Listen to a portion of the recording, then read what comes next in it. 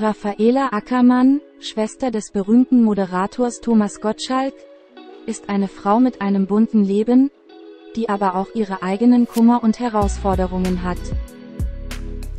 Ihre Biografie ist geprägt von Details über familiäre Bindungen und auch traurigen Aspekten des Lebens. Raffaela Ackermann, bekannt als die jüngere Schwester einer der Top-Berühmtheiten Deutschlands, steht möglicherweise unter großem Druck und großer Aufmerksamkeit der Öffentlichkeit. Manchmal kann das Leben unter den hellen Lichtern Aspekte ihrer schwierigen Stimmungen und persönlichen Traurigkeit verbergen. Raffaelas trauriges Ende, das viele Menschen miterlebten, war wahrscheinlich Teil der Herausforderungen und Schwierigkeiten, die sie durchmachte. Manchmal können Zwänge und Erwartungen der Community einen besonderen Druck auf Prominente ausüben, manchmal müssen sie sich mit komplexen psychologischen Aspekten auseinandersetzen.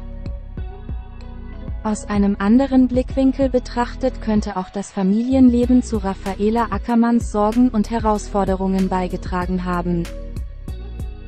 Das Teilen von Bluts- und Familienbanden kann Freude bereiten, aber es bedeutet auch, schwierige und schmerzhafte Aspekte des anderen zu teilen.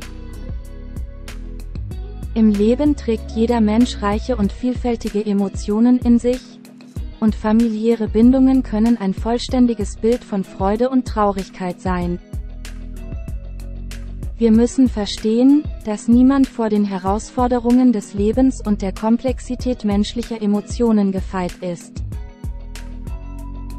Letztendlich können Empathie und Verständnis der Gemeinschaft dazu beitragen, die psychische Belastung, die Raffaela Ackermann möglicherweise trägt, zu lindern. Manchmal kann nur ein aufmerksamkeitsstarkes und teilendes Wort aus der Community eine große Ermutigung sein und anderen helfen, schwierige Zeiten zu überwinden. Im Leben trägt jeder Mensch seine eigene einzigartige Reise mit unterschiedlichen Emotionen und unterschiedlichen Herausforderungen. Als Teil der berühmten Familie könnte Raffaela Ackermann der Aufmerksamkeit und dem Druck der Öffentlichkeit ausgesetzt sein, was zu psychischen Herausforderungen und schwerer Traurigkeit führen kann. Die Familie Ackermann-Gottschalk kann wie jede andere Familie Herausforderungen und Veränderungen im Leben erleben.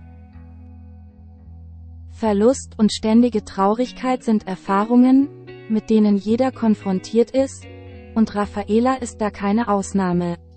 Es können unvorhergesehene Ereignisse, der Verlust eines geliebten Menschen oder schwierige Aspekte familiärer Beziehungen sein.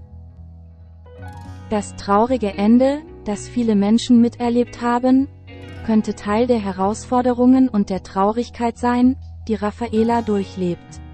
Die Familie ist der Ort, an dem wir Halt und Trost suchen, aber manchmal auch eine Quelle des Schmerzes sein kann, wenn wir mit schwierigen Ereignissen konfrontiert werden. In solch schwierigen Zeiten sind Empathie und Unterstützung aus der Gemeinschaft wichtiger denn je. Manchmal kann das Teilen psychischer Belastungen der erste Schritt sein, um uns zu entlasten und bei den Menschen um uns herum Mitgefühl zu wecken.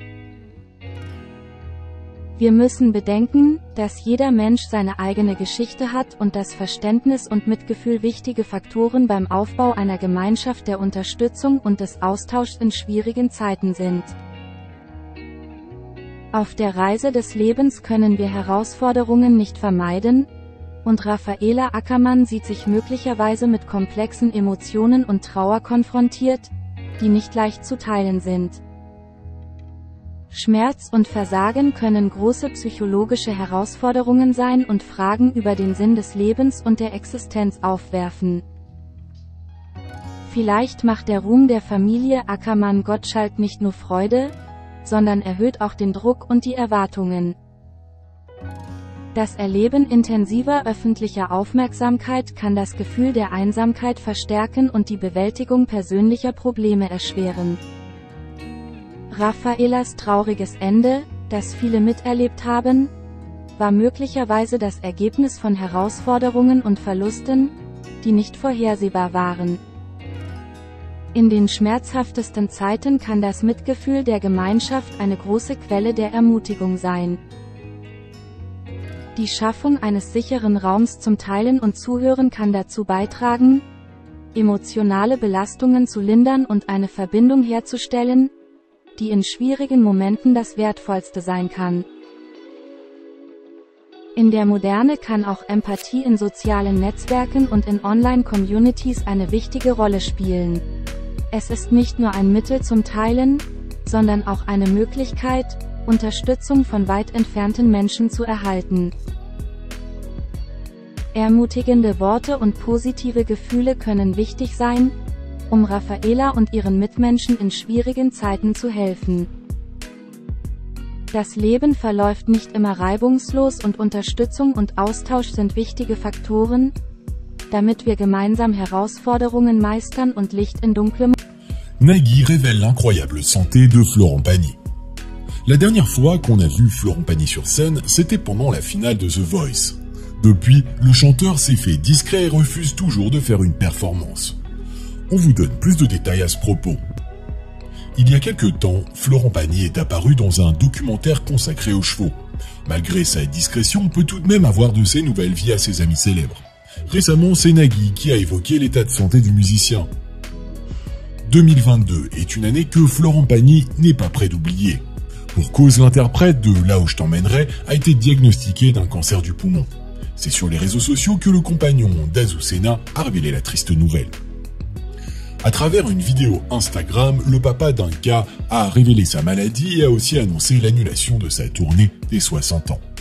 Il a ainsi subi un protocole de 6 mois de chimiothérapie et de rayons X. Bien évidemment, la nouvelle a beaucoup attristé ses fans, mais il est hors de question pour le chanteur de s'apitoyer sur son sort. En faisant face à cette maladie mortelle, l'interprète de Les Murs Porteurs a toujours fait preuve de courage. En mai 2022, il a notamment partagé de très bonnes nouvelles à ses fans à propos de son état de santé. Dans les colonnes de Gala, le papa d'Aël a révélé que sa tumeur a bien rétréci. Si au départ, dit-il, elle avait la taille d'un bon kiwi, dorénavant cette tumeur ressemble dorénavant à une noisette après deux chimios. Maintenant, je sors du tunnel, a-t-il déclaré. Florent Pagny a notamment décidé de ne garder que le côté positif de cette maladie. Ce cancer, à en croire ses dires, lui a fait ouvrir les yeux. Selon lui, elle a redéfini son sens de ses priorités. Ainsi, Florent Pagny n'a qu'une seule hâte, c'est de guérir et de tourner définitivement la page. Par ailleurs, comme on l'avait déjà dit un peu plus haut, Florent est très discret depuis un bon moment déjà. Il semble que le chanteur préfère prendre soin de lui, loin de la surmédiatisation. Toutefois, si ses fans ne cessent de s'inquiéter pour le musicien, ils peuvent heureusement avoir de ses nouvelles venant de ses amis. Le lundi 17 octobre 2022, c'est qui a parlé du compagnon d'Azucena lors d'une interview chez Téléstar. L'animateur a confirmé que Florent Pagny ne chantera pas au concert de Taratata. Florent m'a appelé et m'a expliqué que ça allait de mieux en mieux, qu'il était très optimiste mais qu'il voulait être au top de sa forme avant de chanter. Pour lui, octobre, c'était un peu tôt, a-t-il confié. Une nouvelle qui risque d'attrister les fans de Florent Pagny. Toutefois, nul doute qu'ils comprennent sans doute la décision de leur idole. Les admirateurs de Florent se demandent sûrement où se cache le chanteur depuis sa dernière apparition à la télé. En fait, le musicien prend soin de lui dans sa maison en Patagonie avec sa femme. D'ailleurs, Florent Pagny est apparu dans un documentaire consacré aux chevaux il y a quelque temps. Il s'agit d'un reportage autobiographique de son ami Jean-François Pignon, tourné dans le refuge du chanteur. S'intitule 40 jours, 4 cris